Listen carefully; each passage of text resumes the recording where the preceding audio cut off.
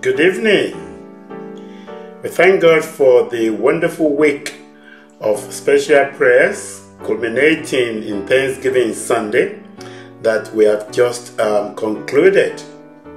Despite the difficulties of this year, God, in His mercy, has kept us alive to see today, and His grace has given us hope that all will be well.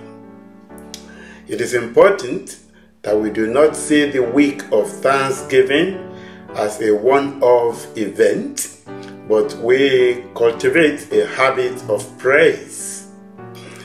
We are to be perpetually in a state of thanksgiving, even as we are admonished in Philippians, the fourth chapter, reading verses 6 and 7.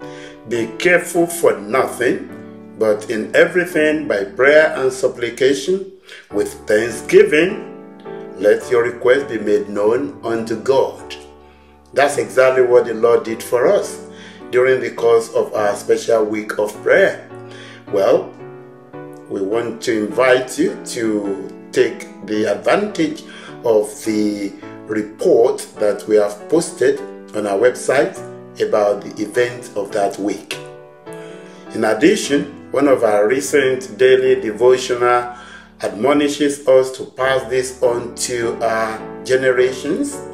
It is not just for us as individuals to have this attitude, but we must ensure that we carry our families along with us. Let it be known as an emblem. The Lord has already begun working. We heard from the Prime Minister on Monday that all churches will be open after the lockdown 2 restrictions deadline, um, which will happen on the 2nd of December. And as a result, I'm very delighted to announce that we shall now be having limited sanctuary audience during our services from Sunday, the 6th of December. We believe this is an answer to our prayers because there has been speculations for further extension of the current lockdown. Of course, while government guidance has been revised to allow for collective worship, it is still essential that we practice social distancing and take hygiene precautions when in the church building.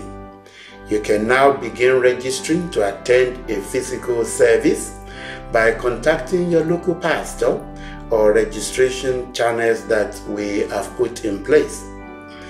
We will continue to broadcast our services virtually on YouTube and Zoom.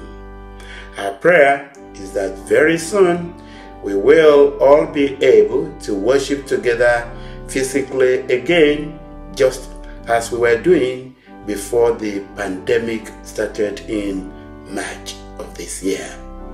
Thank you for watching this uh, short message. Bye bye. Till next time, God bless you and keep you and have a good evening. God bless.